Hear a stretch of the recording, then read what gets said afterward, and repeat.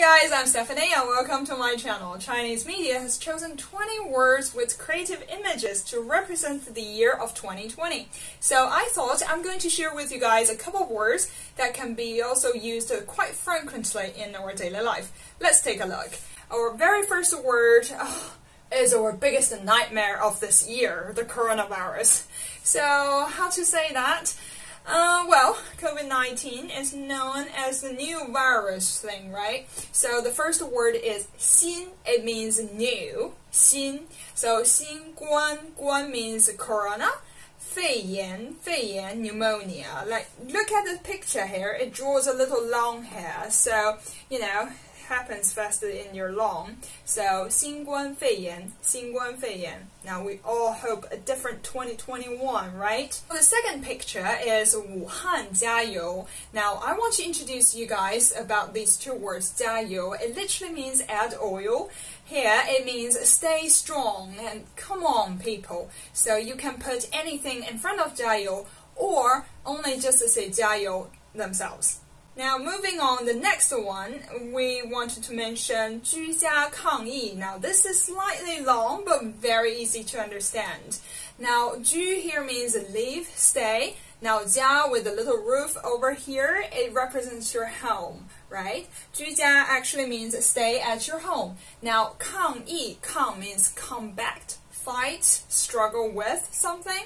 Now, here means we're going to stay at home and fight with the coronavirus, fight with the pandemic. Now, E here means the epidemic, here refers to pandemic. So, 居家抗疫, it has become a slogan here in China and across the world as well. We call it as 居家抗疫, stay in and let's fight this together. 居家抗疫. The next one we are all very familiar with, 戴口罩. Now this puts a mask on top of the word 口. It's actually written as a little square, which I find is quite creative to put a mask there. We say 戴口罩,戴口罩. Dai means to put on and 口罩 means mask. Next one is 人民至上,生命至上. I want to introduce you guys this pattern or the way how we use the word 至上 means number one or top priority or first concern.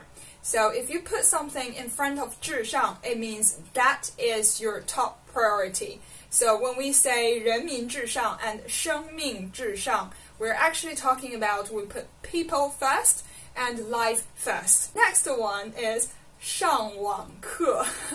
A lot of people say, well, if you are students in this year, we're all graduated or we are all in the Zoom university.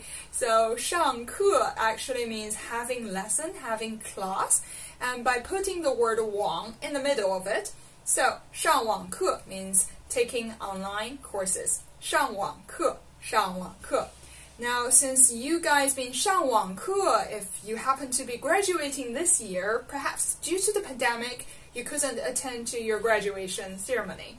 So that's why we have 云毕业,云毕业. Yun here means on the cloud, so you're graduating on the cloud. Well, that's not exactly on the cloud nine situation, but uh, congratulations on your graduation. 云毕业,云毕业. And our final one is 直播带货. Now, live streaming has been a huge business in this year's China due to the pandemic, and people are not able to physically visit the physical store, so people have shifted their attention, almost all the attention on online shopping. Now, 直播 means live, okay? Live streaming. Now, 带货 means you are selling the goods. Normally, we see influencers and celebrities, they are using their impact and influence to hoping to draw the attention of their fans and followers to buy more stuff from them. And this kind of way, we call it as 带货. So you are able to bring in, or in this situation, sell the goods, bring in the followers and the fans, and sell the goods. So we call it 直播带货,直播带货. I thought these images are quite interesting, so I want to share with you guys. And I'm Stephanie. I'll see you next time. Bye bye.